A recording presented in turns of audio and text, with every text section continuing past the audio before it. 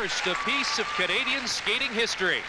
Elvis Stojko's odds of completing a 1-2 Canadian sweep didn't look strong Thursday night, but the Terminator ended Canada's fears with a technically brilliant silver medal winning performance.